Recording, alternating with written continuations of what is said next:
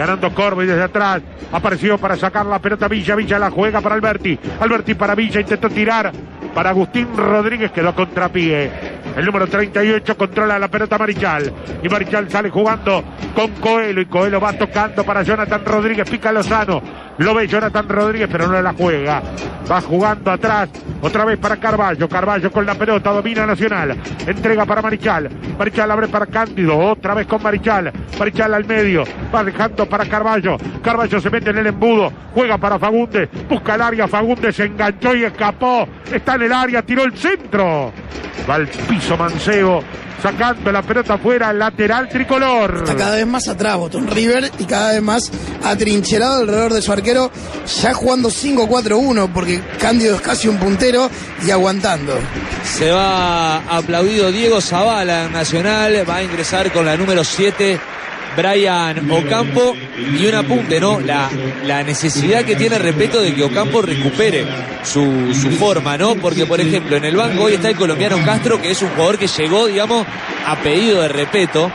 Y hoy pone a Ocampo por delante de, de, Castro en esa necesidad de que vuelva a sumar minutos y se vuelva a sentir protagonista. Y bueno, a mí el partido de Zabala me estaba gustando. Claro, me sorprendió. Me llamó la atención, a mí también.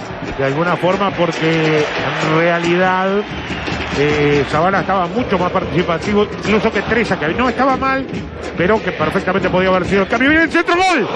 ¡Gol! ¡Gigliotti! ¡Gol! Nacional Gigliotti. Todo comenzó en una pelota que peleó Campo. El balón terminó en córner, sacaron rápido. Cándido mandó el centro a la entrada del área chica y el anticipo de Gigliotti, incluso sobre las manos del arquero, para poner la apertura en el partido. Minuto 13, gana Nacional 1, Boston River 0, Gigliotti. 13 a 0. Si no lo sentís, no lo entendés. Increíble la forma en la que abre el partido nacional, con el laburo que había hecho Boston River, con la atención, el sacrificio. Se durmió, los garronearon y termina con un cabezazo en el área chica que le cuesta la apertura. Se desmoronó todo el trabajo en una distracción y Nacional rápido, vivo, con una gran madrugada de Ocampo, está ganando el partido. Madrugó Campo, lo levantó Cándido y el único que estaba en el área Gigliotti le ganó a toda la defensa de Boston River.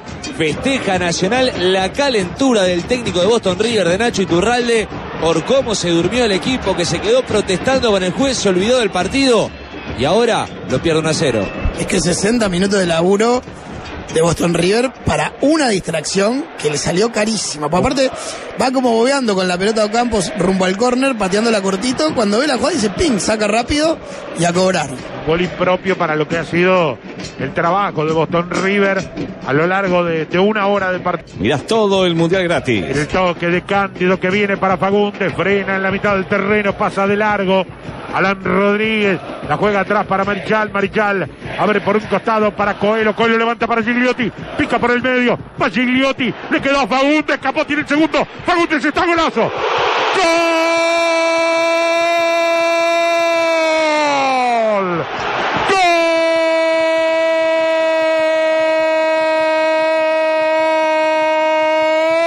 Golazo de Nacional Fagundes. Fagundes encontró la pelota en la entrada del área. Amagó el remate, desparramó la defensa. Se metió al área. Y cuando salió a cerrar el arquero, cruzó el remate abajo contra la derecha para marcar el segundo. Nacional derrota a Boston River.